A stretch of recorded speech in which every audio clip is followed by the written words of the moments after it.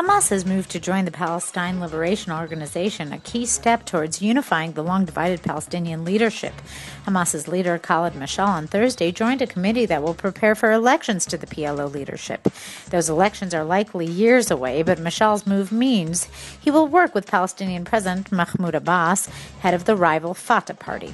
Thursday's development is an important step towards reconciliation between Hamas and Fatah, which have been split since Hamas seized control of the Gaza Strip in 2007. Members of several Palestinian factions met in Cairo on Thursday as part of reconciliation efforts between Fatah and Hamas. Israel has rejected the reconciliation efforts, refusing to negotiate with the government, including Hamas, whose charter calls for the destruction of Israel.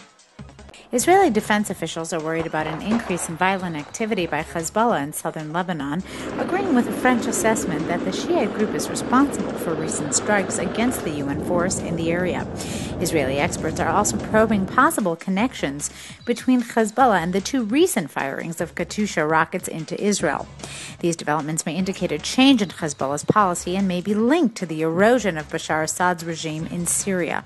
On Wednesday, IAF Commander Major General Ido Nehushtan stressed that the northern border will continue to be on top of the agenda for the Air Force. A Syrian military operation in a stronghold of army deserters has killed a total of more than 250 people. France called the escalating violence an unprecedented massacre and urged Russia and China, Syria's traditional allies, to speed up negotiations on a draft resolution on Syria at the United Nations Security Council. The opposition, Syrian National Council, which groups some 140 leaders, called on the Security Council and Arab League to hold emergency meetings to discuss the Syrian crisis and urged the international community to act to stop the violence. The United Nations says more than 5,000 people have died since March as Syria has sought to put down the uprising, part of the Arab Spring of protests that have toppled long serving unpopular leaders in Tunisia, Egypt, and Libya. Israel Month events are being marked these days in the Indian city of Mumbai, marking a bid to brand Israel as an innovative and thriving country rather than a militant state as viewed on TV.